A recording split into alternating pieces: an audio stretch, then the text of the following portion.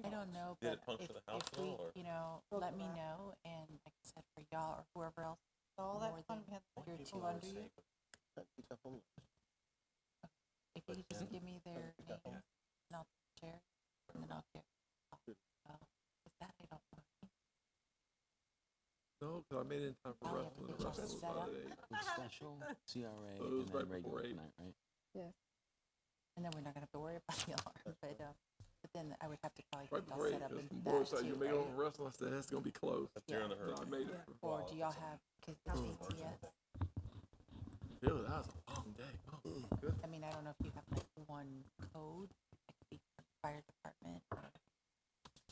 If it goes off for some reason and y'all can't see it, no, I'll read them all. Yeah, these all, these need to be read in full. I'm happy to Okay. do that. Let's have the uh, con- budget. Yeah. Mm-hmm. Okay, and then let me know what y'all mm-hmm. need and whatever y'all need, I just can't see everyone have access.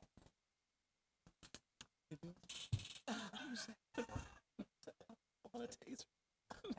Well, for y'all, I could see like, you know, for somebody. I was working on my backyard yesterday and all day today on my backyard. phones and stuff, cleaning, Everybody. So cutting like trees. many people have been asking, I said, well, let me know. I don't know, cause they, they've also given I know. I see I'm finished now though. not anything, I but for audit purposes, we, this week. No, I still have some, I have a damage on the roof that I'm waiting for, uh, I don't Condos mind, to, uh, just take a look at it. You didn't get a chance to come yet. that I just can't give it to everyone, cause that's the first thing they ask us when we're audited. Who has access, who has codes. Yeah, just let me know. In theory, that meteor that hit off the Yucatan way back when that supposedly wiped out the dinosaurs, if that was today, and before it wasn't even there. Anyway, It's a little, was even if you don't, it's a Now I have no full trees in the day, it backyard. would wipe over. it hits that wall. I mean, you Okay. That's pay according to attention the entire time. A little close for me, but, That um, would be better stuff from scratch. now. yeah. Love the I water, just got don't it we? when I got here. I was like, ooh, yay. The tree that I All right. You don't have to worry about this How's the maple race going? going Be crazy. everywhere. What's the date? It's Or October. my house. November. Yeah, it says we're done. I'm off this, this week, I'm gonna be home, My but son came and next said, month too. Probably not even Just believe that South freeze Georgia on the No. water would be "Come safe. on, And No. then this, she's moving too, so, Yeah. Oh, that's What is that? I When she imagine they're all closed on stinking in um, I think Stinks. first, like, Would be like October, we're not sure. going around. Just remember, got hurt. And then she has to be out of her Yeah. other place. Travel so We had no casualties, no Stay injuries. equal.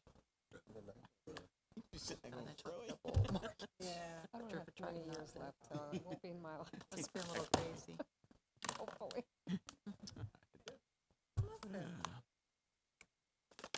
We're Still behind on a lot of things, a lot of little things. Yeah. Jacob not coming? Yeah, I know. That's how crazy it's been.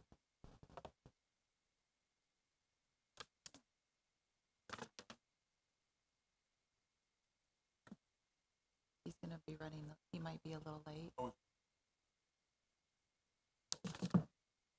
There's Dimitri. I'm sorry, I Hi, put them there Dimitri.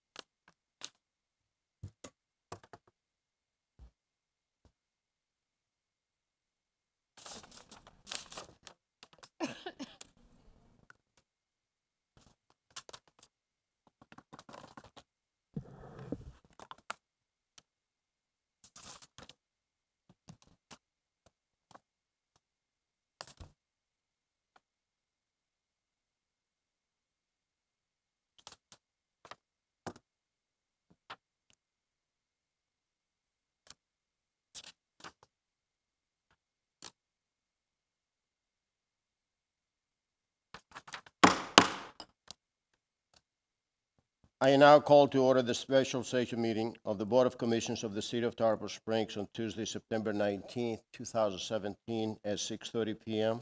Roll call, please.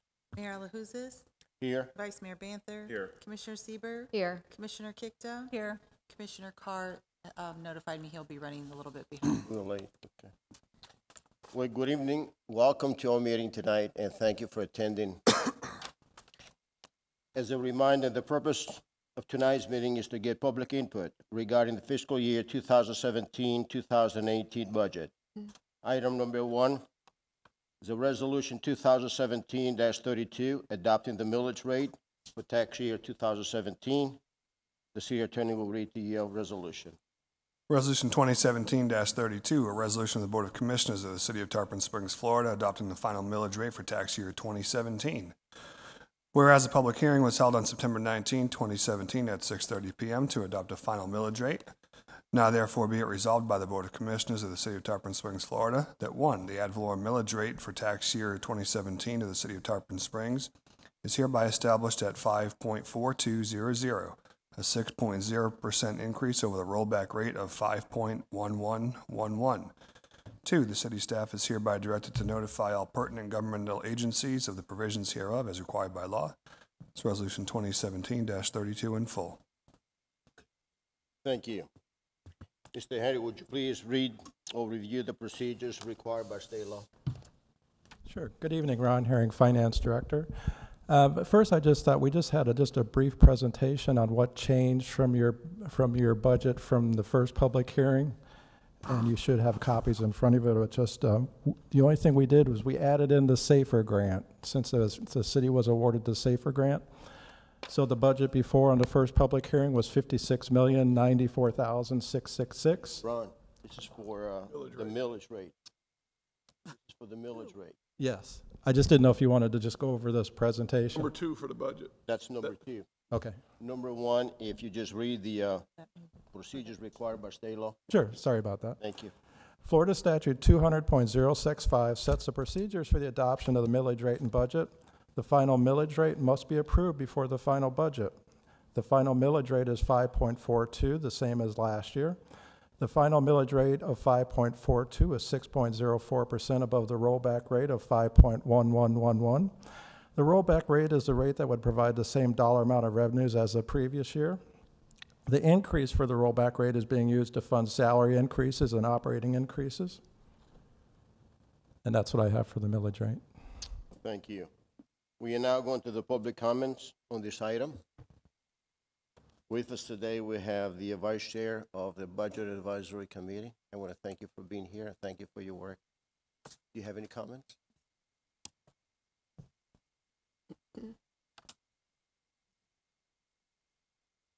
Marty Peters, uh, 1702 Heritage.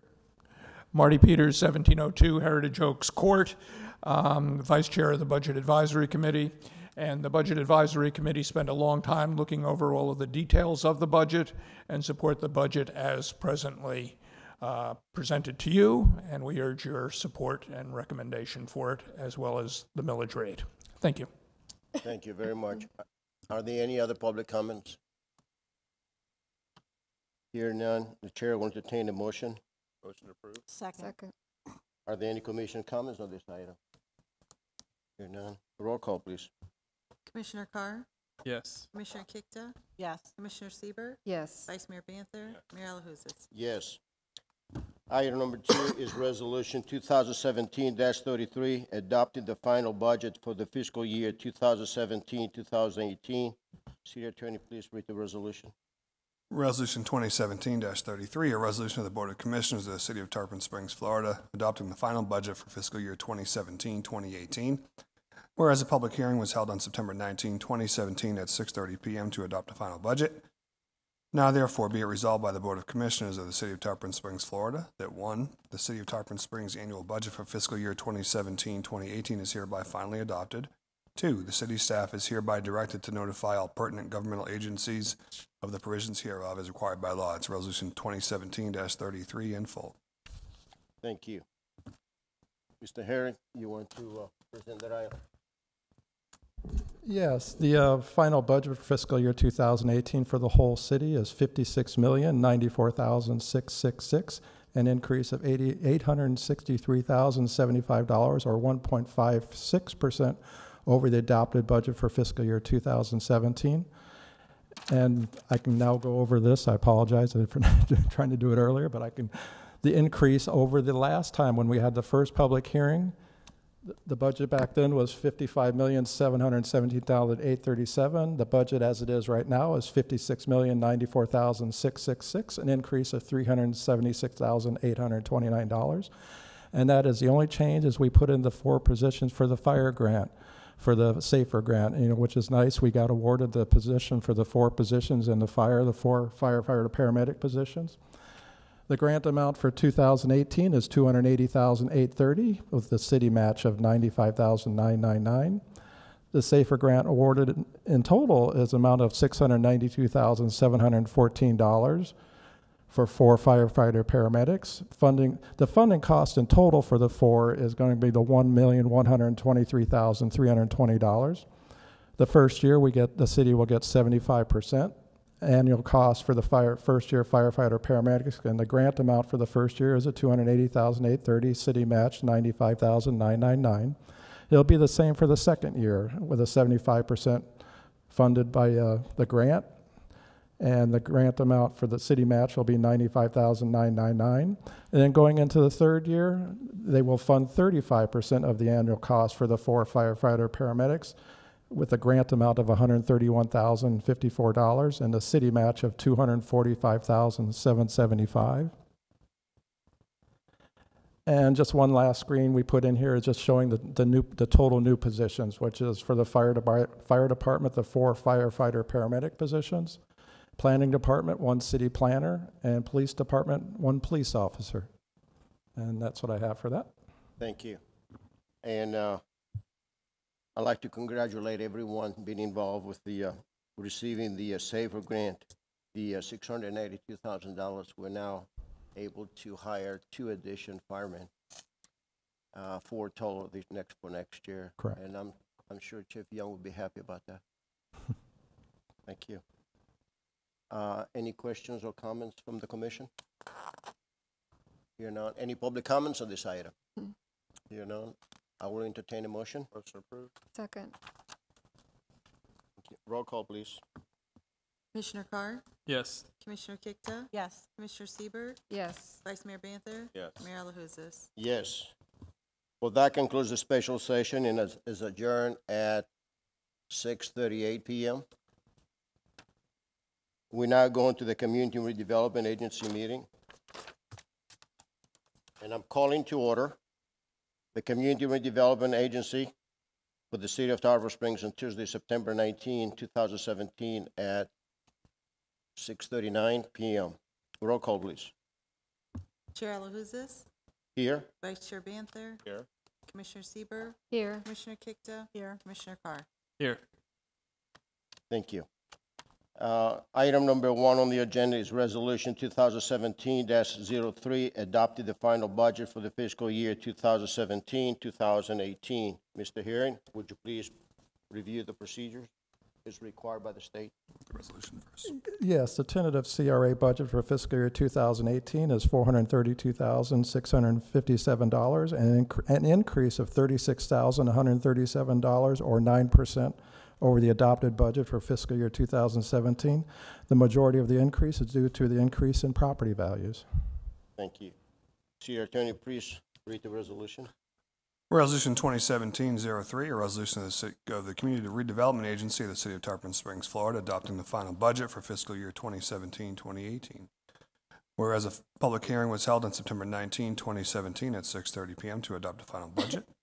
Now therefore be it resolved by the Community Redevelopment Agency of the City of Tarpon Springs, Florida, that Section 1, the Community Redevelopment Agency's annual budget for fiscal year 2017-2018 is hereby finally adopted. Section two, the city staff is hereby directed to notify all pertinent governmental agencies of the provisions hereof as required by law. Resolution twenty seventeen 3 in full. Thank you. Are there any public comments on this item? Here none. Chair will entertain a motion.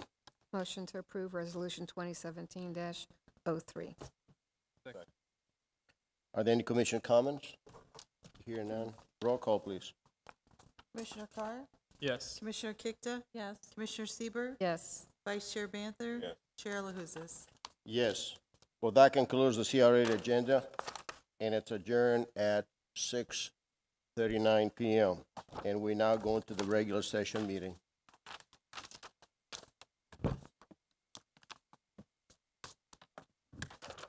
I'm calling to order the regular session meeting of the Board of Commissioners of the City of Tarpon Springs on Tuesday, September 19, 2017, at 6:40 PM. Roll call, please.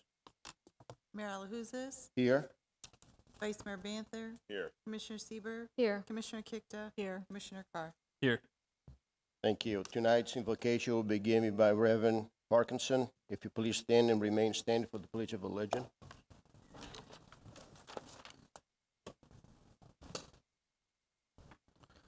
Let us pray.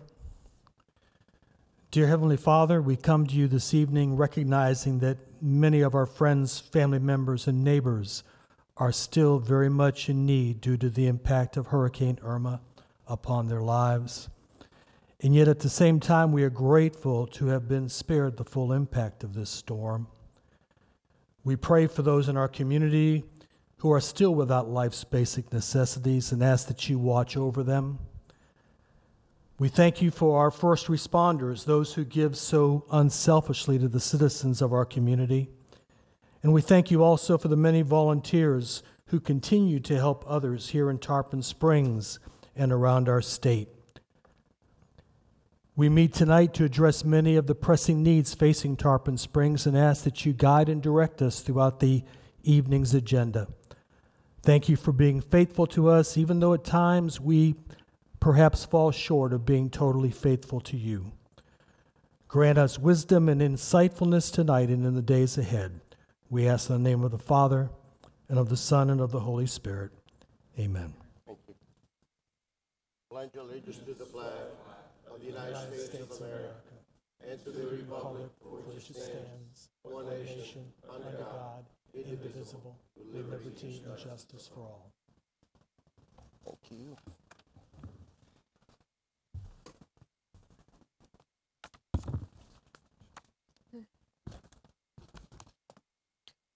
We are now going to the public comments on the items that will not be discussed tonight.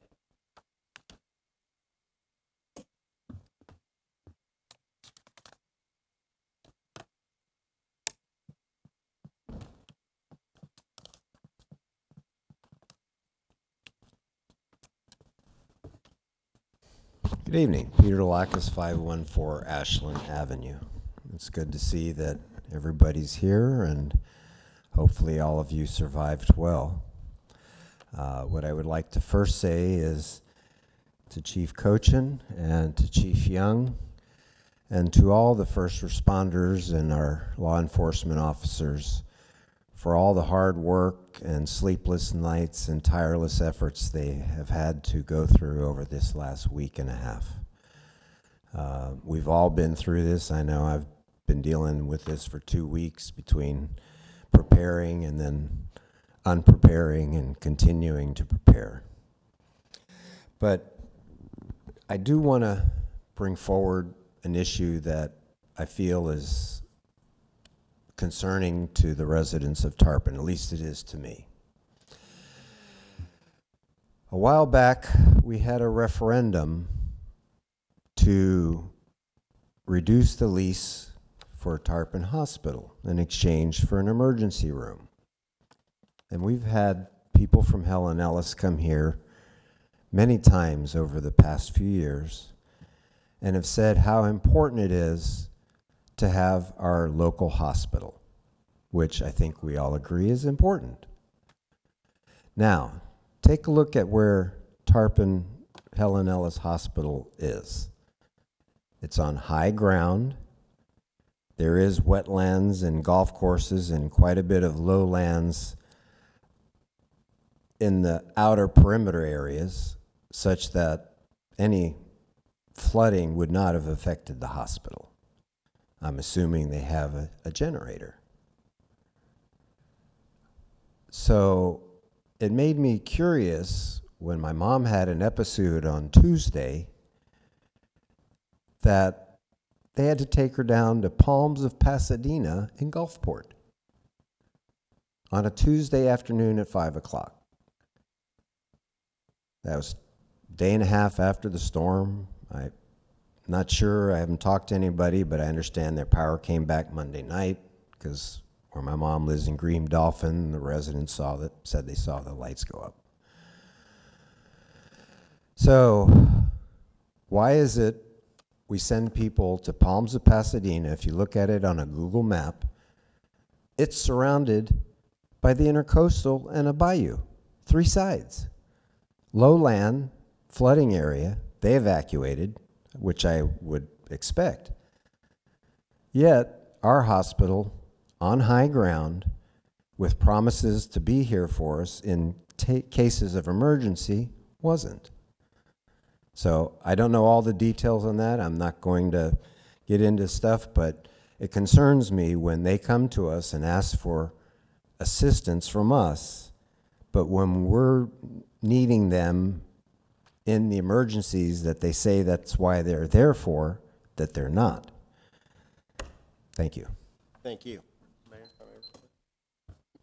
Um, yes, that's a very, that, that, that, that's a very, um, important point that Commissioner brought up just now, and the fact that the hospital is part of our emergency plan here, and it was a shock to me as well that, that, that they closed. Um, I don't, I don't know why, I don't run hospitals, to know why they can and can't stay open, but it was told to us many times, it's a cat three, cat, you know, uh, cat, cat, cat four building. So, uh, I know I've already talked to Mark about it, he kind of feels the same way, so I think we're gonna be looking into the future as to get, get, uh, get clarification as to why they closed and get, get better, um, knowledge of, of what their process is there, because it, I think it's crucial that, that we maintain healthcare here, especially when, um, you know, I think it, it, it, it, it, it, was a surprise to us all when, when they, when they, when they closed so quickly. So there'll be, uh, discussions for that, um, mo- moving forward, thank you.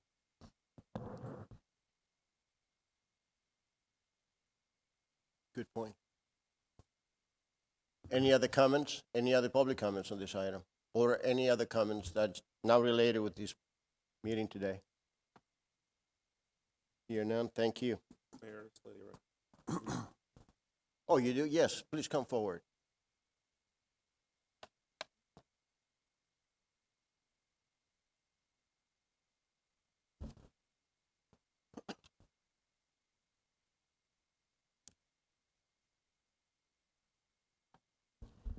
Uh, Elizabeth Posner, 1259 Windy Bay Shoal in Tarpon Springs.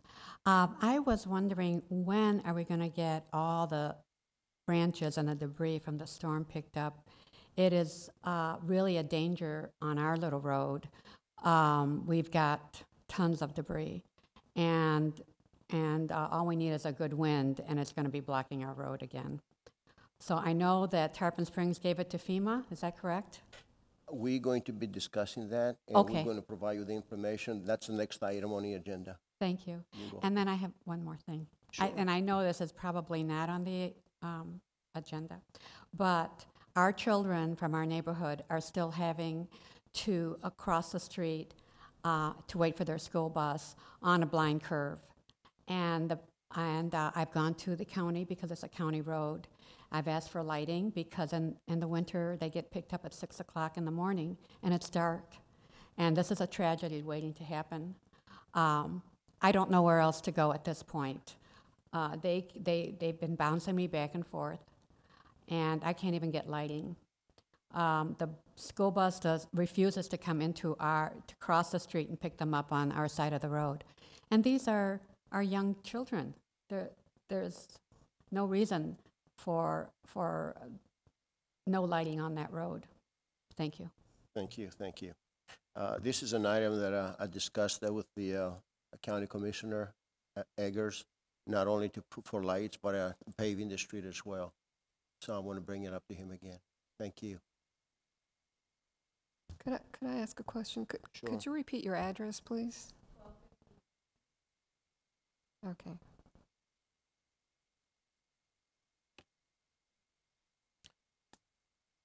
Do we have any other public comments? Can I just make a quick comment to that also? Sure. Um, I sit on the safety transportation for public schools as well, and I'll bring that up in our next meeting um, also. So. Good. The next item on the agenda is a presentation, of Hurricane Irma discussion, Mayor Alahouzos. Well, I placed this item on the agenda, you have a discussion and to inform the residents on the hurricane recovery efforts. First of all, I want to thank our God and St. Nicholas for protecting the people of Tarpon Springs. And I hope your families, you and your families are doing well uh, in the aftermath of the hurricane. Hurricane Irma has been, it was a challenging time for all of us, for the residents, for the businesses, for the whole community.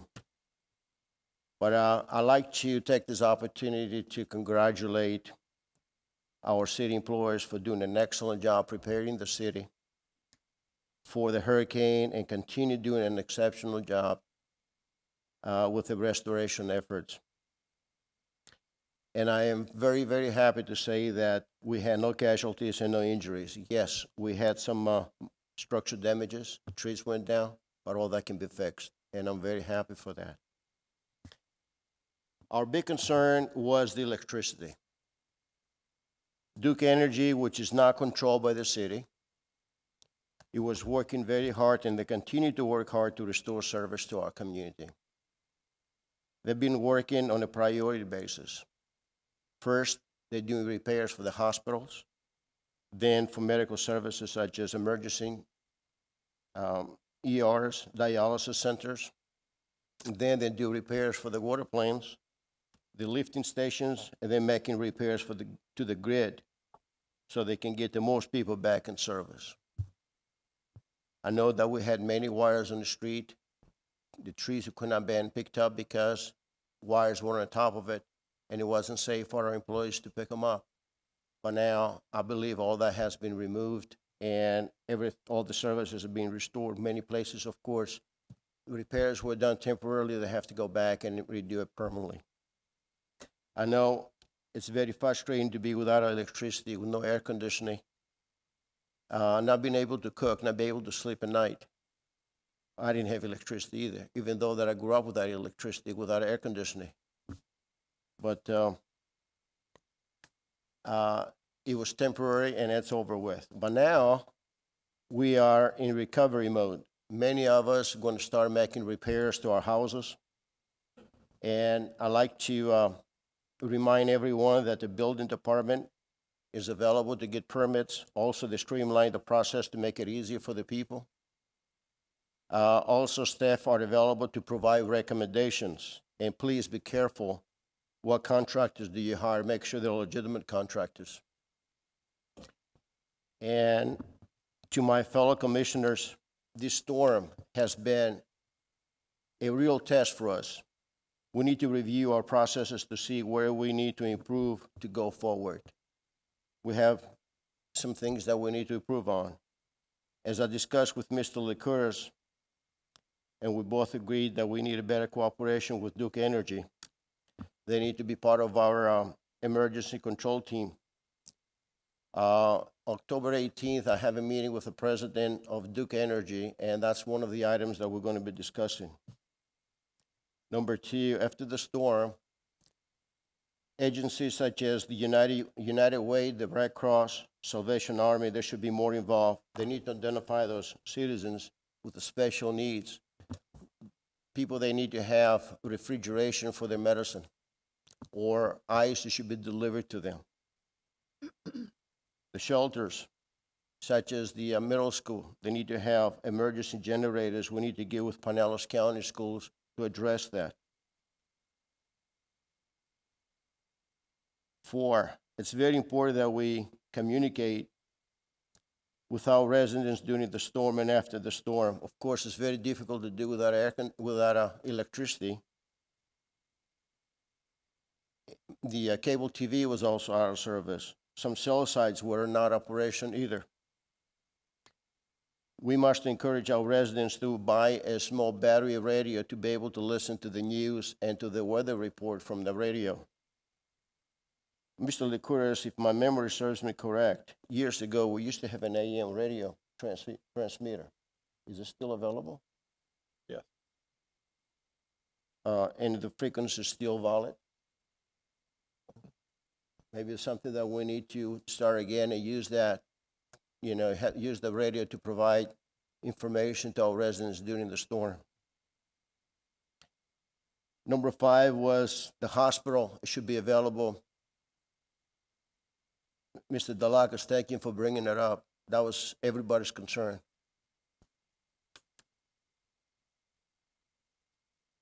Ladies and gentlemen, I am very proud to say that our, our foresight proved correct. That we must balance the budget without a saving, without a using the savings in order to balance the budget.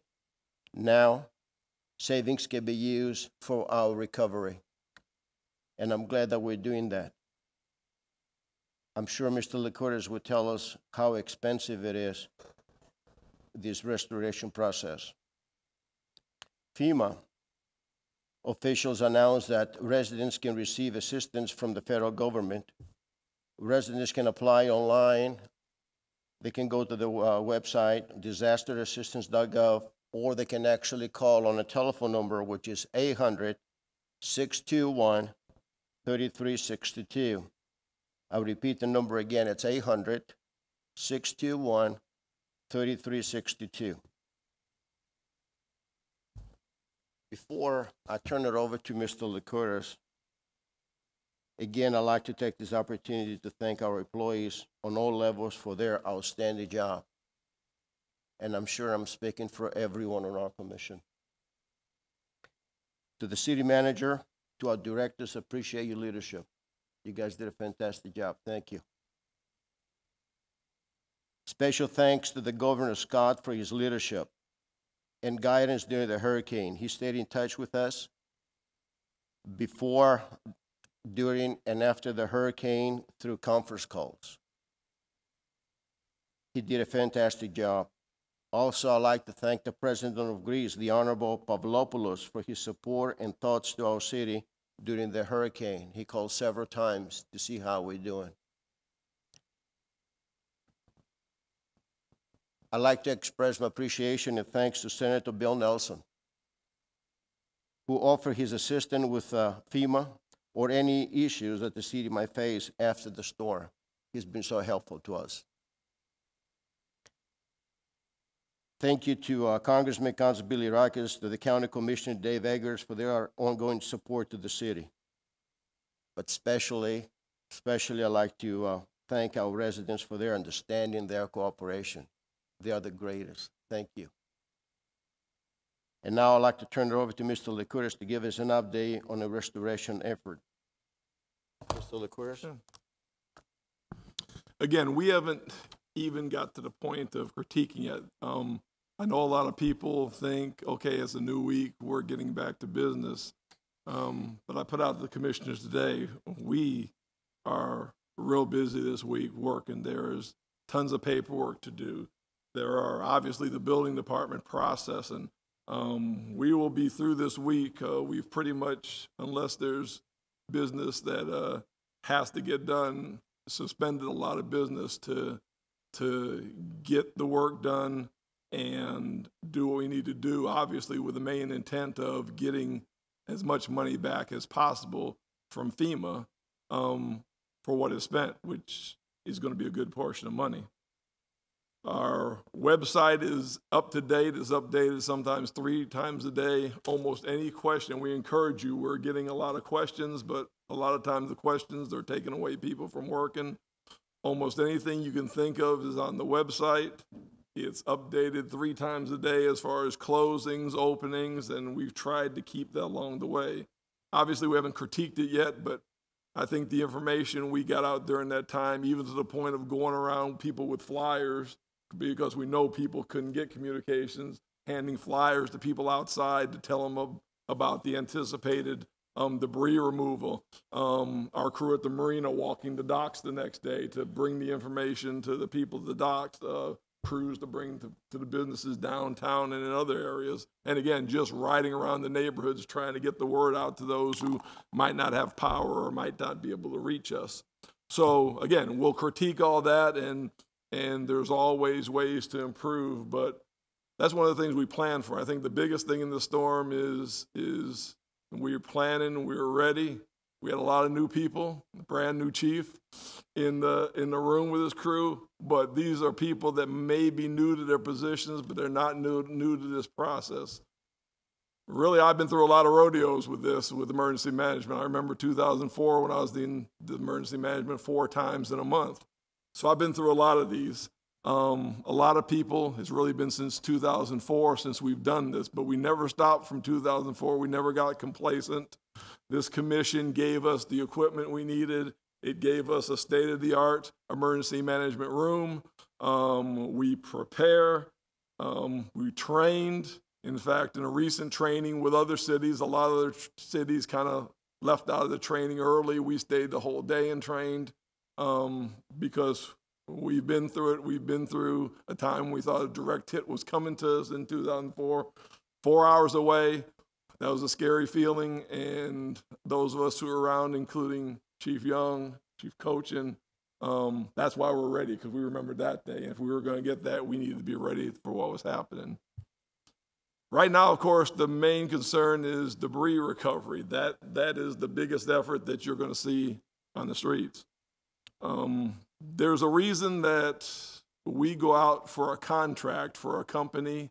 We go out to bid for a company. The company that we have is called Crowder Gulf. Um, to bid for, if this ever happens, that they vo- devote their services strictly to the city of Tarpon Springs. A lot of places in the county have consolidated and gone in with the county and, uh, you know, gone in with them to get it. It's always been Tarpon's feeling, me being around 39 years, we don't like to depend on other people controlling things. We like to be able to control things for our city. That's why we have one group that was bid that is capable of whatever disaster hits us, that they're exclusively ours. They work for us. They're not told by a county or anywhere else, you got to go here and there. Um, we have complete control and we can, we can have them out there for our citizens.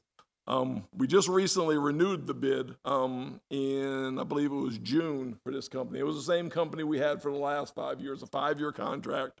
We don't pay them for the five years they're sitting. It's not a contract where they of contingency. We don't pay them unless this comes up. Not only is this good to have, but the company that we hired also has specialists to do the FEMA paperwork. Obviously, the initial estimate says that it could be up to $1.5 million of debris removal that would be the expense of the city of Tarpon Springs. And most of it is FEMA reimbursable if you do the paperwork right. So we not only have the company who knows about debris, not only picking it up, but dealing with the, I think right now the count is 200 trees that we have to bring down and cut. I know there's about another 200 trees that we have to secure branches, cut branches, and make sure they're safe. And we've got some city facilities where we need to do some clearing. So this is not just going around picking up the tr- the uh, limbs on the side of the road. Um, you will probably see it will probably be seven to ten days before you see a substantial amount of the debris starting to be picked up. That's how much stuff is out there. We probably, for a city our size, have the most. We got 14 trucks from this company dedicated to us. I don't think I've heard of anywhere else that has that many. But obviously, if you see it, it's a it's not a fast process. And commission, you can expect from the last time they get calls, where are we? We haven't seen them. Well, you know, there's some local areas which the streets are so bad, the smaller streets, that you would think they would do the main routes first. But a lot of the main routes, the stuff is on the side of the road, not obstruction. There are some residential streets where it's a danger and safety. So safety comes first. So you may not see them right away, but it's going to be seven to 10 days before you see some substantial difference. And we believe this crew is going to be here at least 60 days before the process is, is finished. Um, because of the volume, we've had to close the yard waste facility. That is because they need the entire yard waste facility for the amount of debris out there. Um, citizens did have a little leeway of three days um, to bring their yard waste there, but um, the size of the operation, we just have no choice, and we have to measure, we have to weigh, and the amount of debris is going to defer. So when you get the questions, why is the yard waste closed because there's no place for to bring anything else, then we need, obviously, we need to do everything right to get that up to 1.5 million reimbursed to us. Probably is going to be a nine to 12 months, but that's why you have a good reserve in your sanitation fund. That's why you got plenty enough in your reserves to cover it. Um, imagine if it would have been like the horrid pictures you see of Sebring or Naples and stuff. You know, you'd be talking about three, four, five million. But um, this reminds people of why in sanitation, in in your city budget, why you have a large amount of money just sitting there, um, just to see what operations be going. So you, the work will be, you'll be seeing the work. Um, they'll be out there picking up. Again, it may be, you know, you may not see them for a week in your neighborhood picking up things, um, but we'll be out there. We'll get it cleared as fast as possible. Again, we've got probably per capita more trucks out there. They're working than any place at least I've seen or heard of before. So um, we'll be working hard to do it. But again, don't expect in two or three days you'll see a lot of debris up. It's just not going to happen. Didn't happen in the previous storms. You're not going to see it around the county. Um, but they're going to be working hard, and um, that's what we're expecting right now. So the only road, main road closed was Riverside, and thank goodness about one o'clock today, Riverside opened up. That was an area hit hard. Um, I can tell you, we had we had some places hit hard, looking like war zones. Um, which is some of the reasons why some of the places didn't have the power up. It, not only did you see the lines in the street, but poles around it were snapped um, that you didn't see. So some of the people who spent three or four days, it was just impossible um, to get the power up. And while I haven't been the uh, you know biggest fan of Duke Energy, um, being out there constantly on this city, you know, on my patrols every two or three hours for the duration, um, you know, trucks from Wisconsin, trucks from Canada. Those those people were working day and night. Um, some of them, I know one crew left at 12 midnight only because by by the labor laws and by the ability that they had to sleep because they wanted to finish some people's homes, but they had to be ordered to leave because you know you just gotta you have to have safety with those lines and stuff. So everybody you saw out there working feverishly, and then when they didn't meet their deadline of Friday at midnight, um, when I rode the streets first thing Saturday morning, they were on the spots. And by Saturday morning, I think there was only 4% of Tarpon that was left without power. So meeting your deadline by 4% was good. And I can tell you the area, I knew the areas where there wasn't power because my house was one of them. I knew the tangled mess that they had to try to do and try to get to um, to get to it. But you know, so obviously I don't have any influence in the storm since I was one of the last four percent to get power up. Um, don't ask me for influence in the future to get it because obviously I don't have any. Um, but again, first thing Saturday morning, they're out there, you know, feverishly trying to get, and most of them were up Saturday. So again, while you know, again, City Hall is working hard now on the tough part, the paperwork, all the documentation, not only for you residents who've had your home damaged, but again, so we as a city get your taxpayers' money back um, eventually for, for what was done, and that will replace the reserve that we've had to use. So um, again, there'll be updates on the website um, you know, probably three times a day until we're finished. If we get some information of some specific areas we're going to be picking up in, we'll try to get that out. We hate to do it because sometimes it's changed. If we tell a neighborhood we're going to be there Wednesday and then something comes up, we got to get them somewhere else. We get a lot of phone calls and screaming, you said you're going to be there Wednesday. So that's like, but we'll try to tell some general areas as they get out there, um, try to keep you informed and, um, and work hard to get it all restored and, uh, and back to order. You want to cover about the uh, water plant and the uh, the sewer that never never lost service? It was always operational. We That's that was one of the amazing things. When we tell later, again, I, I didn't have a lot of department heads here to tell the stories and stuff. It's going to have to be several weeks or so because they're out there hard working. And since last Sunday morning, they've been working. But um, because of the power issues, we were we survived with the water plant. We were very close to having to exercise another great decision of this commission to keep the ability of Pinellas County's water come on. We warned that within 24 hours, if we didn't get power restored, we may have to bring in um, Pinellas County water.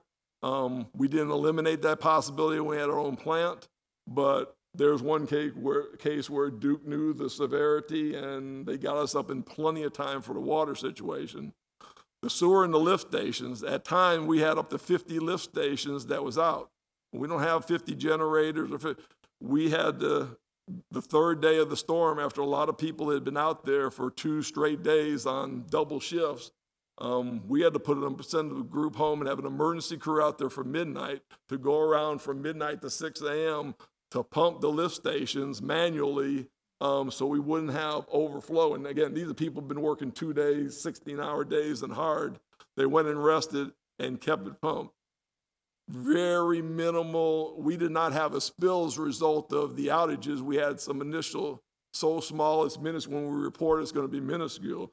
But the group that you have for water and sewer that not only kept all the water going, we kept it going without shutting the people off.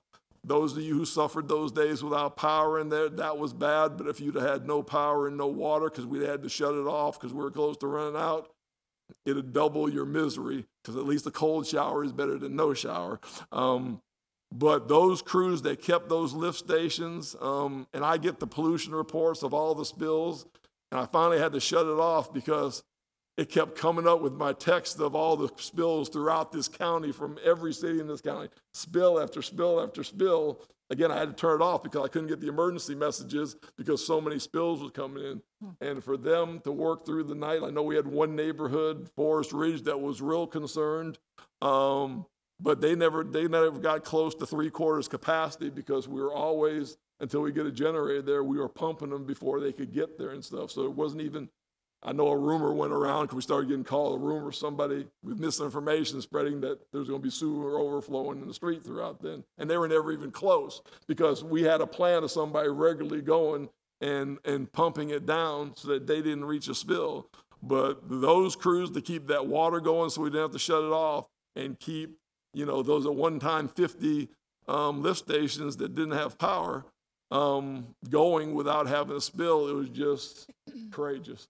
It was, it was again hand pumping. Though that's not the most, that's not well, that's one of those dirty jobs or pleasant jobs to have to do that. But they knew what they had to do, and the eight to ten people out there all night to make sure there wasn't a spill was just, um, you know, total dedication. A lot of those people never got to their house till Thursday or Friday to even survey their damage or their lawn and stuff because of what they were putting in to keep the city going. So again, when we, when we have the, when we- go over it, have everything done, have everything back to normal, we can tell you some more of those stories and stuff that went on. But, you know, you couldn't be more prouder of our worker, um, our workers out there. Again, from the emergency management people who are ready to the people out there keeping water, sewer, and, and, uh, those running, uh, to have a little bit of amenities with no electricity. Thank you. Vice Mayor Banther? Yes, thank you. You want to comment? Yes, um, I support everything that the mayor has proposed and said. Uh, I, along with him, we got to spend two days in the EOC and witness firsthand how well prepared that this the, the, this city was. In the beginning, when the track was not looking very good for us, it was sobering. But I felt the confidence when I was down there in the room and seeing all, all the department heads ready to go. That uh, I think we are the most prepared independent city in Tampa Bay.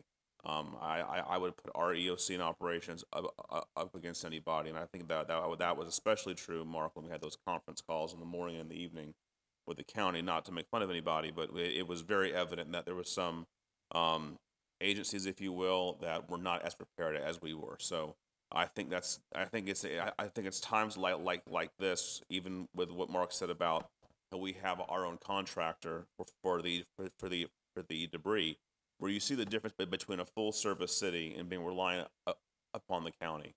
To me, to me, it, it's it, it, it's it's night and day, and and and uh, though, um, I think it helps you see where you where, where your tax dollar dollars are going, and that's why we have eight we have eight eight eight million million dollars in a reserve fund. We got hit barely by it by a category one. We're, we're, we're, we're, we're going to spend one, one like one one one point five at least million dollars. Imagine if it was a two or three or four. So that's what, that's why we have those those those funds there. Um, again, I want to thank all, all, all of our department heads, uh, and I know Mark's going to come back at, a, at, an, at, at an, an appropriate time for needs that we have as a city. Um, I'm sure generators for the lift stations and whatnot, and that's an appropriate use of reserve funds. That's why they're there. And um, I just I just couldn't be more more more more more more proud after for two days uh, watching the EOC, what the department heads were doing, how how they were responding. Um, I'm very impressed. As far as the power goes, um, you know, of, of all my family's homes and buildings, half got restored quickly, half were la- la- uh, later on. It, it, it, it, it didn't make a rhyme or reason how. Um, you know, I'm still impressed, even though there's lots of room for for for for improvement with Duke. That we had a Category One hurricane, and in less than a week, we have we have we have full full full full power restored. So I, I was impressed with that. I, I honestly thought it was going to be much mu- much much longer. So, but I'm interested to see moving forward with the mayor's meeting with the president of Duke in October, and how we can better incorporate them into our EOC, so we have some more influence over uh, special needs areas in the city that could possibly be uh, uh, uh, the restored sooner. And uh, obviously, as has been mentioned, we have to have a conversation with the hospital because I, I consider that crucial as as as as part of our plan. But I, I, I just again thank everybody. I, I, I, I want to thank Mark. I don't I don't think he slept much in the past two weeks, and um, I, I, I had every confidence in the world, even if the worst track happened. But th- thank God it didn't. That we would we would be ready and prepared. And uh, I hope it doesn't happen again. But if it does, we'll stand ready and even better than we were this time. So thank you. Thank you. Commissioner Gift. Thank you. Um, you know, we are very lucky. We fared very well in this community, and I just I get so upset when I see postings on Facebook and people complaining about this or no power and all that. You know what? We're lucky and we're blessed that um, we were we were really spared. Um, but when it comes to our safety, I'll tell you, we are in good hands. Chief Young, Chief Kochen, and of course our city manager. They did an outstanding job keeping us updated throughout the entire storm, um, keeping the commission updated. Uh, it was it was amazing, and I went you know I went over to the to our emergency center, and I was so impressed with how they had everything set up and um, you know, they just jumped in. Our department heads jumped in. We had even the, some of the ladies be manning the phones. The phone lines were ringing like crazy, and they were manning the phones, and I thank you for that. Um, the morning after the storm, I, of course, got, as soon as I can get the boards off my front door, I went out to, in the streets to see what was going on. And in my, in my neighborhood alone, there was already, it was what, seven, eight o'clock in the morning. There was already um, crews out there, city crews clearing the streets with trucks, clearing clearing them so we can get out. Um, it was abs- I was I was amazed. And then I went driving through the through Tarpon, and I was on Gulf Road, and um, there was some damage to uh, a resident's home, and I was looking at it, and here comes some city employee. Actually, it was um, Anthony, and um, he got out of his truck and he's assessing the damage within the community. And he, you know, right away, you know, he explained to the homeowner about permits are written right on the spot if you need a permit for your roof or for any damage that's done. Um, he made a little report and he's was immediately, like I said, going around the entire community assessing damage. So I was really impressed with that. And then I heard about the lift stations and these, and this crew was working tremendous hours and, and sucking out everything with that truck. I mean, that's amazing. I don't know who, who came up with that idea, but that's amazing. Probably Mark. I have to give, I gotta say, I have to give the city manager a lot of credit. He's always calm. And I look to him, you know, okay, what's going on? You know, and he's, he's, um, he just, he's, uh, I don't even know how to say it, Mark, to be nice. it's hard for me to be nice to Mark, but he, he didn't, he does, he leads the city well. And we really need to thank, thank Mark for that. Um, he does lead the city well. He's got a lot of knowledge. Being ex chief and now city manager, he's been around a long time. So thank you for all your knowledge and everything and your many hours that I know you did sleeping on a cot. Um, appreciate that. But again, this this city did was did an amazing job. The the the city staff was just they went above and beyond and above board and i know they still have a lot more work ahead of them but um, we pulled together as a city, as a family, and, and I want to thank everybody for that. Thank you. Thank you. Commissioner Sieber? Yes, thank you. Uh, Of course, I agree with my colleagues. I don't want to repeat everything. I did want to add one thing about the uh, debris pickup. Um, Driving around the neighborhoods, I noticed that a lot of people have bagged their debris, and we were told no plastic will be picked up. Right. So I just wanted citizens to know that if you have all your debris bag, bagged in plastic bags, that cut the plastic off or whatever uh, you need to do because they will not. So do you want to say something to that, Mark? Yes, a- and even though, as we always do, we have a contingency plan if they aren't, because we don't want to leave them out there, so, so we want you to try to do, I know there's some concerns, if wind goes up, it goes around, we'd like you to do it, but for those the word doesn't get out to, um, we do have a contingency plan, so there's not a bunch of bags sitting out there that we'll do, but it'll save us a lot of time on that pickup and stuff. If, if, if you do just dump the bags out on, on the corner of the street, but again, there's some circumstances, some lack of right of way. There are some reasons why you can't. And if those are the situations, then we'll take care that they're, they're picking up because there are some certain situations where there's not room for anything or not room to dump them. So we've seen some places where we've told them, just leave it there, we'll take care of it. But anybody who can do the bags and, and, and do that, then that would be best. But Yeah, we do have another plan for that. I just wanted to mention that. And of course, I want to thank everyone. I, uh, I appreciate the website constantly being kept up. I know with, uh, at the OC Center, at the center, we, uh, you kept us up to date, but we needed to keep our citizens and our business owners up to date. And we did that through our website and, and, you know, communicating with our citizens and, and, uh, business owners. And of course, our Public Works Department, who worked tirelessly, uh, with those pump and lift stations and, uh, we had no backups, and our own water supply uh, is amazing.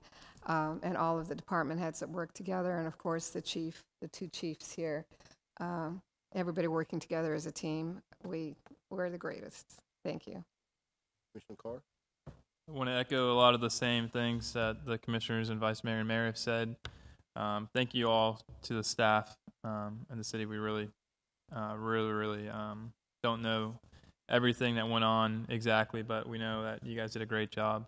Um, one thing that was good to see too is that um, neighbors were being neighbors and uh, friends were being friends and family were being family members. So it was great to see a community come together in a time like this um, and join together and know that we potentially could be hit with a category three and still stood by, by side by side with each other. So that was really encouraging uh, for me to see. And um, so, uh, but Mark, I do have a question. Has the debris pickup started in the community, or does the paperwork have to be started first and finished before the debris can be picked up? Uh, the site was ready, the preparation of the site is rather extensive to prepare the site, but I understand the trucks started to go out this afternoon, so they should start seeing them in the next couple of days in areas of town. Okay. But, but they've had to make an elaborate setup over at our yard waste facility. Um, so a lot of, a lot of what they're doing is finishing that setup that they started over the weekend, but they're finishing that to prepare to bring the debris to, um, with the proper measuring and yardage and stuff, so people should start seeing the trucks more frequently tomorrow and, and the next day. And I'm not sure if you know this one or not, but with the total cost to, to do all this, is it just in the contract? Is it like per pound, per load, or is it just how do we determine the one point plus million dollars for this? Again, it, it's the hauling, the weight of, weight of the pro, a lot of it's the weight of the product. It has to do with the weight, and that's how we come up with A lot of the it, a contract. lot of it's and the weight and the disposal and stuff. And again, almost hundred percent of it, if the paperwork is done right, is reimbursable. So again, that's the importance of getting a company that knows how to do the paperwork right. Okay, great. And uh, I also want to echo the frustration to see our hospital closed. I thought that was a that was very bewildering to me. Um, I was I don't understand that. So um, if we could all just be updated on that, and I think that would be something that we could put out somewhere in a press release or something along those lines too. Thanks. Thank you. Are there any public comments on this item?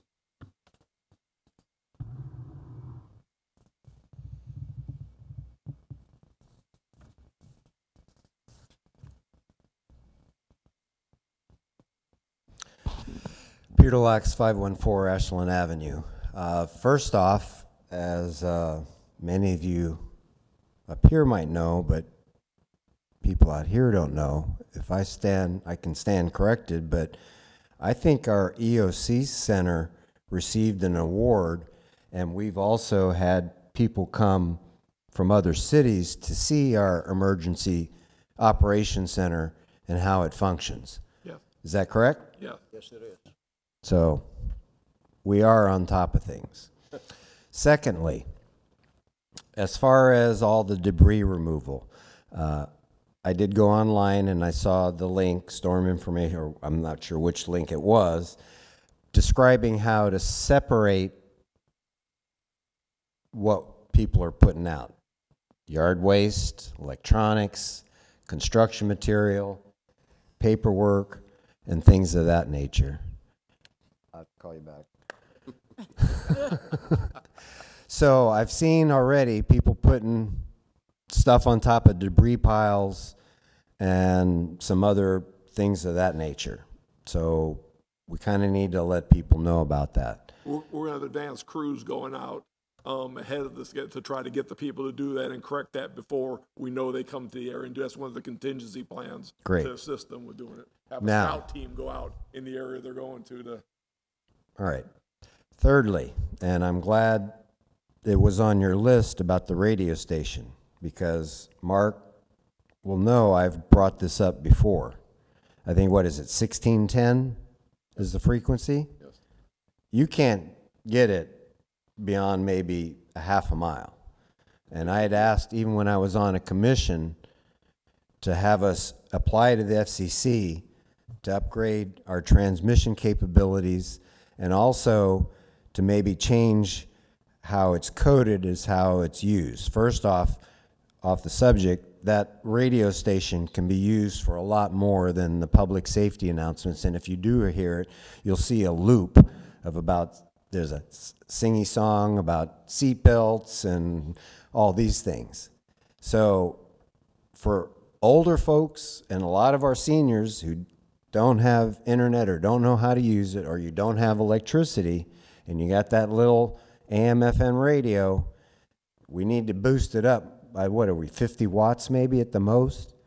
We need at least a 1000 or 5000 to be able to reach the west end and the east end. Because that, I mean, what do they say? Get a portable radio and batteries. Simple.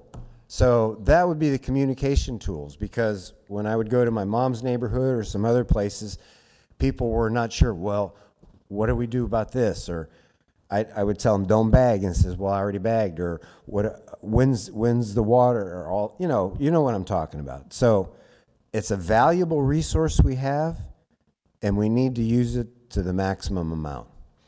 Lastly, as I've heard Mark and every one of you say how hard these employees have worked, what I would suggest, whatever we get back from FEMA, you dedicate 5% or 10% out of that money and take it out of the reserve if necessary, and you give those people bonuses. Thank you. Thank you. Any other public comments? Here none? Well, thank you. Mark, please thank the employees for us, please. I will. Thank you. We are now going to the uh, consent agenda. Item number two is the attorney fees invoice fifty-four seven sixty-three. Number three is the uh, award file number eighteen zero zero zero one dash N dash RS miscellaneous services from Pinellas County Sheriff's Department. Number four is the award file eighteen zero zero zero three dash N dash RS single source purchase of cash equipment. Number five is the award file eighteen zero zero five dash C dash RS corrosion inhibitor through, uh, City of, uh, Sebring. Uh, RFP number sixteen 4 and number sixteen is the award file number eighteen zero zero four dash N dash RS radio and pager Motorola equipment and maintenance. We also have a, uh, an addendum. Item number one, a special event. We Survive Earn, Earn, uh, Weekend Businesses Promotion Event, September twenty-three and twenty-four, two thousand seventeen. I'm sure we're going to pull the uh, consent agenda to discuss it. Um, Any other item that you'd like to, uh, to pull? I would like to have a, um, a motion for items two through six. Motion approved. Second. Thank you. Are there any public comments on this item? Items? No, any commission comments? This doesn't include the addendum. No. Number we're one, gonna do okay. that separate. Thanks. We have a motion. And roll call, please. Commissioner Karr? Yes. Commissioner Kikta? Yes. Commissioner Sieber, Yes. Vice Mayor Banther? Mayor Alahouzos? Thank you. And we're going to discuss the uh, consent agenda, item number one, part of the addendum. Commissioner Sieber, you want to talk about this? Yes, um, as we all know that uh, our citizens suffered damage and, and um, you know, not a very pleasant experience this past week, but our businesses did as well. And I was approached by some business owners who asked, what can we do to help them? Um, many b- business owners were closed from three days to 10 days, uh, which not only affected the business owners, but all the people that they employ. Um, they lost power, they lost inventory, um, had to re- reopen and rebuild. Um, so I, I went to Mark and uh, Tom Function and asked what could be done. and we um, came up with a plan with Karen Lemons to uh, include something uh, with the wine walk next weekend where we will open up the sidewalks and um, and suspend the, the ordinance that we have for our business owners through Sunday uh, to be able to put out uh, displays and um, have a, an atmosphere where we attract our locals to come to our businesses and and help our business owners rebuild a little bit. Um, so I want to thank Mark for um, for approving this, and if this is um, uh, passed tonight, uh, we will have a flyer go out to all our, our businesses that we've um, that we're coming up with and, and advertise this and um, and make sure everybody knows about this so we can um, help our business owners. So um, I'm hoping this will pass, and um, I know that uh, they suffered a lot of losses as well, and uh, we want to help them out as a city. Thank you. Yeah, we definitely need to, to support that. I discussed that with Ms. Lemons and, uh, expressed my, uh, uh, support to that, but also recommended that we promote it a little bit better than we normally do. We need to call, uh, the radio, TV stations. on We're social doing media a and all press things release to if do this is approved. Um, after it's improved, do that. Yes. Uh, I talked to, uh, Ms. Lemons and she was going to call the, uh, Channel Nine as well. So maybe we have a special down at the docks or in, Right. At the uh, downtown area. So, um, any, any other comments any commission comments? Vice Mayor? Yes, thank you. I want to thank um, uh, uh, uh, Commissioner Sieber for uh, bringing this forward. I, I- I think it's a great idea. Th- This is for the whole city, correct? Mhm. The docks too, every, every- everybody? Whole city. And this is time limited through Sunday, correct? Saturday The and weekend, Sunday? Saturday and Okay, Sunday. All right, I just want to make sure we make that clear. And we make, we make it known that, that, that, that they can do this. And um, in the meantime, this week, if there's any other um, rules and re- um, rules and um, r- reg- reg- regulations that we could suspend in a temporary fashion that could help beyond this. We are in permitting and everything that bring bring that to our attention. I'm sure I'm sure it'll, it'll receive full support. Um, but uh, no, I, I do want to thank. I know there was a few restaurants that got very lucky and got power back quickly, and you know I wanted a hot meal real bad, so I went to one and uh, it was like a feeding station, and those they they really busted their you know backsides to do that, and they were lucky because they got power quickly. So this hopefully will help those that were not so lucky, and uh, with all their merchandise. So I'm glad we're able to follow suit and, and, and what just makes sense and suspend some rules for the weekend to help them out. So thank you. Thank you. Commissioner Kikta, you want to comment on this item? No? comment. Just a quick comment uh, to encourage everyone out in the audience and uh, watching online. We've got so many wonderful businesses within Tarpon Springs, very, very unique businesses as well. Um, so if you haven't been around town, up and down Ultra 19, downtown, throughout the Sponge Docks and other corners around town, uh, get out and check that out. I mean, we've got some really great things going on in town. So I'm glad to see this. Thank you, uh, Commissioner Sieber, for bringing this forward. Thank you. Are there any public comments on this item? Yes, sir. Please state your name and your address for the record. Hi, my name is Jack Spark. I'm 2008 Golfview Drive. I also work part-time for the Chamber of Commerce, and I, can you hear me? Other one. Other mic. That, that's the light. My name is Jack Spurk. I'm at 2008 Golfview Drive, also work for the Chamber part-time, and when this idea came up, I think it's a wonderful idea. I hope you'll all support it. And I think what we need to do is we need to find out, like neighbor to neighbor, to make sure that we get people out to enjoy this. It's a great idea. Good for you guys. Thank you. Thank you. Any other comments? Any other public comment? Here none. Need a motion? Oh, I you just wanted you to want- add something to that. Uh, To Jack, we will be, if this is approved tonight, uh, coming up with a flyer that will be distributed to all our businesses. We'll have it on our, on on our media, um, social media, as well as uh, do it, um, publicize it. So we're, we're trying to get- get it out there as much as possible. I appreciate you being here from the chamber, and we have uh, someone from the Merchants Association here as well. So we want to get it out there to all our business owners and our citizens. We appreciate you coming and supporting our businesses in town. And we are able to get it in the weekend, part of the paper that tells the activity of the weekend. Uh, they've helped us and they're saving a spot for us. Obviously, we can't do anything after it gets approved tonight, but they've already got a spot reserved for us to do that. So, um, they'll be, they'll be ready to go for Thank you. after your approval tonight. Good, good, thank you. Chair will entertain a motion Motion to approve. Second. and roll call. Commissioner Karr? Yes. Commissioner Kikta? Yes. Commissioner Sieber, Yes. Vice Mayor Banther? Yes. Mayor Alahouzos? Yes.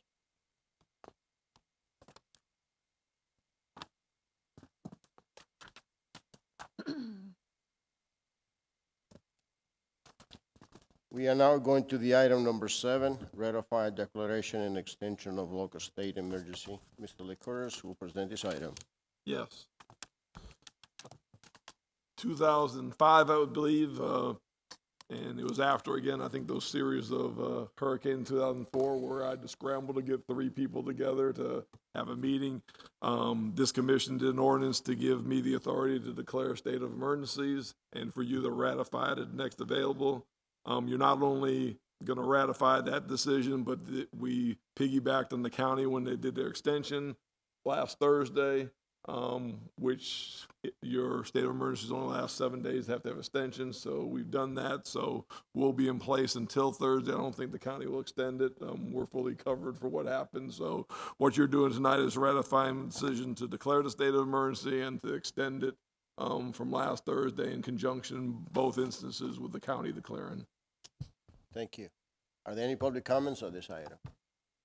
Here none. Chair will entertain a motion. Motion approved. Second. Are there any commission comments? Roll call, please.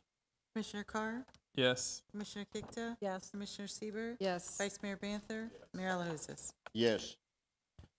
Item number eight is the ordinance two thousand seventeen twenty-six is the coastal element, first reading.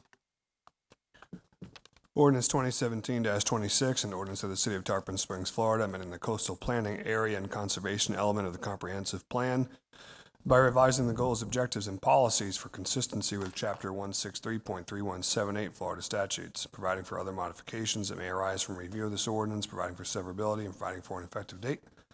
It's the first reading of ordinance 2017-26 by title only, second reading to be held after review by state and Pinellas County. It was published in the Tampa Bay Times by title only on September 1, 2017. Good evening, everybody.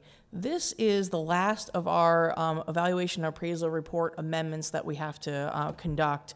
Essentially, you adopted a letter that we sent last year to the state and identified this particular issue on the coastal element dealing with the Perils of Flood Act that was passed in 2015. This is us finishing up that final um, section by adding um, a group of policies and an objective to um, essentially address storm surge, sea level rise, and flooding that may occur as a result of sea level rise. This is a first step in the process. We'll be working with the county in the next few years to do a few different a few different studies, which will then be incorporated in our comp plan. But our policy language is required now, unfortunately, because of the process, the timing that we we fall. We fall before the county's. Um, uh, ER, is, re, is re, re, required in 2018, so we need to get our, our regulations in place first. So this is our attempt to at least comply initially with the Perils of Flood Act, realizing that's going to change based on the studies that are going to be going forward in the very near future. And I can answer any particular questions that you have. Well, I want to thank you for updating our comp plan, but also I want to thank you for including the uh, sea level rise. I know a lot of people don't believe it, but it's here. Thank you. Are there any public comments on this item?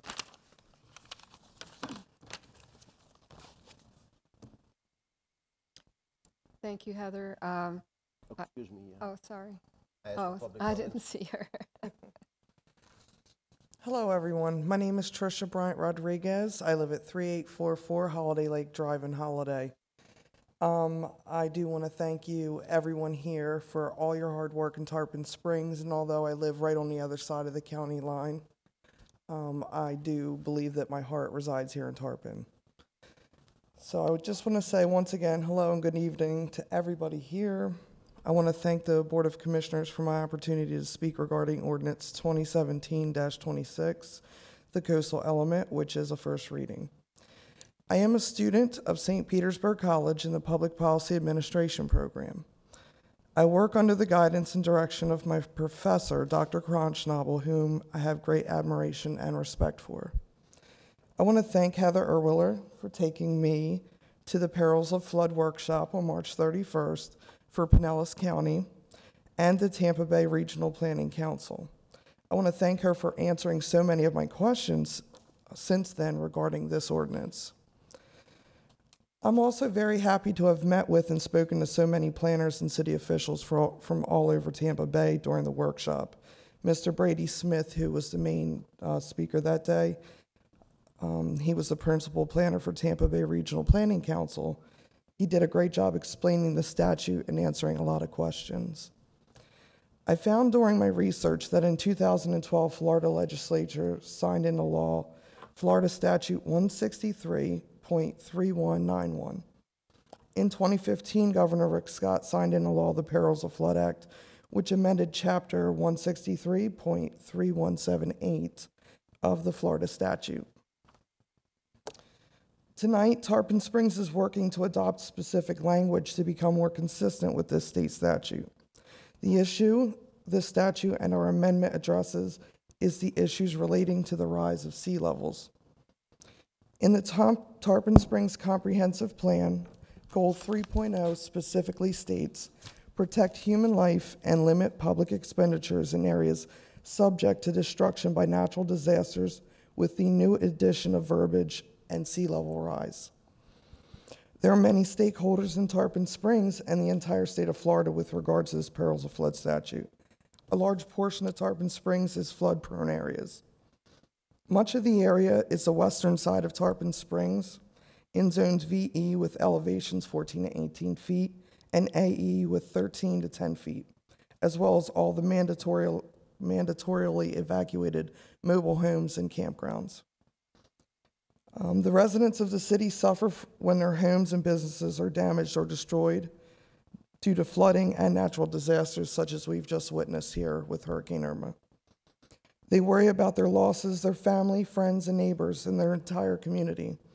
They also worry about rising insurance rates on their property. Our city officials have the same concerns, but these are compounded by the responsibility which comes with their positions. They must plan ahead for these events as we've seen that happen. They are also the ones to whom our community turns to for advice, help, and salvation. Their perspectives are quite different. Our first responders are also major stakeholders in this ordinance and the Florida statute. They must be the first on the scene when disaster strikes, and this is a difficult position to be in. I have the utmost respect eh, for anyone that puts their lives on the line for the public. The coastal element changes will address many areas of concern for these stakeholders.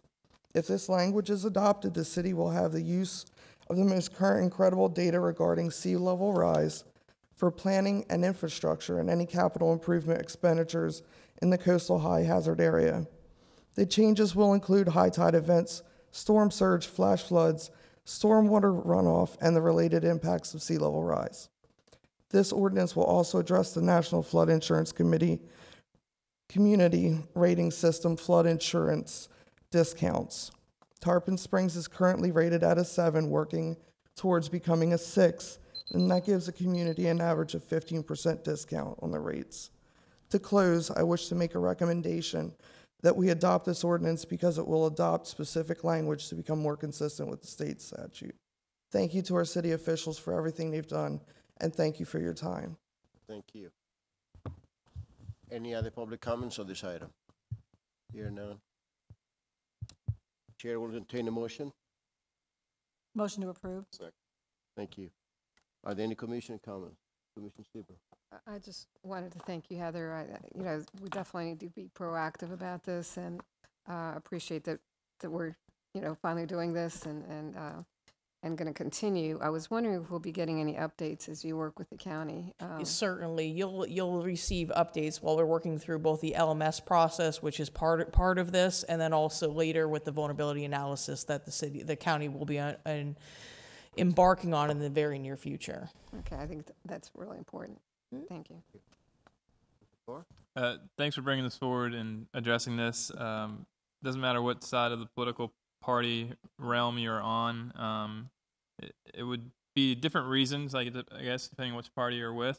But the sea levels are rising in Tarpon Springs and, and Florida and the area. So I'm glad that we're addressing this with our uh, our- our plan here.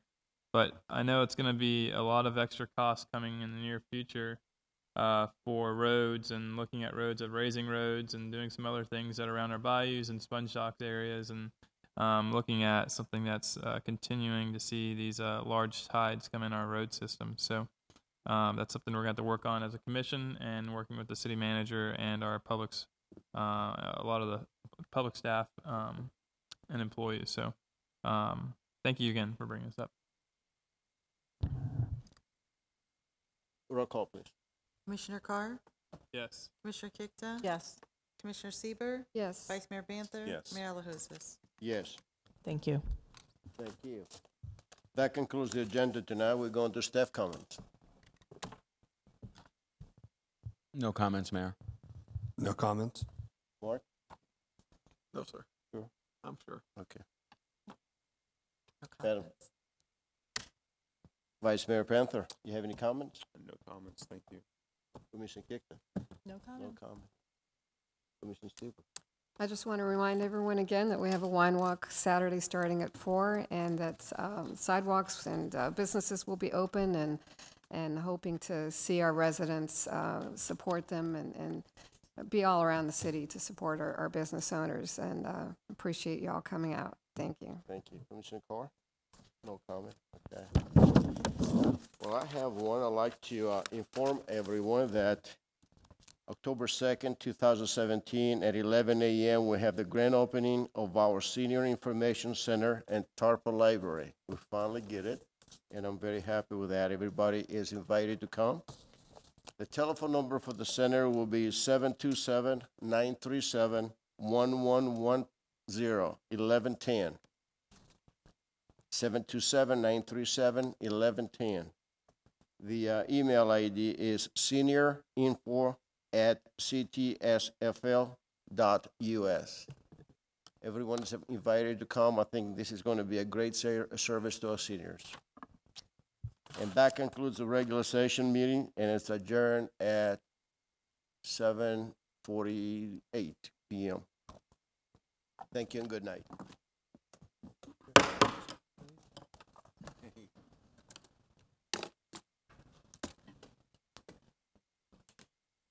da cama.